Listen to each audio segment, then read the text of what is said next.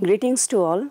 We are speaking on behalf of all Arunachal Pradesh contractual nurses working under NHM since 2015.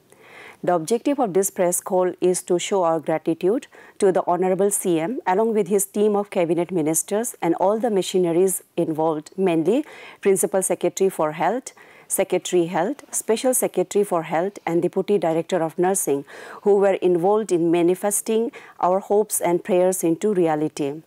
In the year 2021, December, our association had a press call in which we put out our grievances and requested the government with regard to post creation of regular nature in nursing department.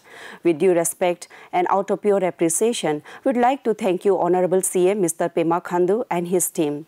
Sir, your actions speaks for your intentions. By creating various posts, nursing officers, promotional posts and posts of teaching faculties for nursing colleges and schools, you have shown shown that you are truly committed to improving our health sector. Sir, you and our Honorable Health Minister, Mr. Alo Libang, had promised on many occasions that you would regularize NHM nurses who had worked day and night, even during corona pandemic, in a phase-wise manner. Sir, you have kept your words, but it is only half done yet. Sir, we believe that under your adept leadership, your very efficient team of officials will fulfill the promise by regularizing the existing NHM nurses as per seniority list as soon as possible, hopefully before election. Sir, we have been serving our people since 2015 in various difficult terrain at a meager salary.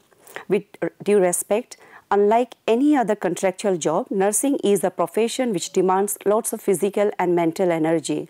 Like any other uniformed personnel, our job calls for lots of discipline and empathy. We deal with humans and their different levels of emotions. These are only few attributes of nursing profession and good enough reason why we should be regularized soon. Moreover, when in nursing, doing three shift duties, emergency duty and excessive workload makes it difficult for us to even prepare for any other job interviews and exams. Therefore, sir, we request your kind office to look into the matter and regularize the existing NHM nurses as soon as possible. Thank you once again, Arunachal government.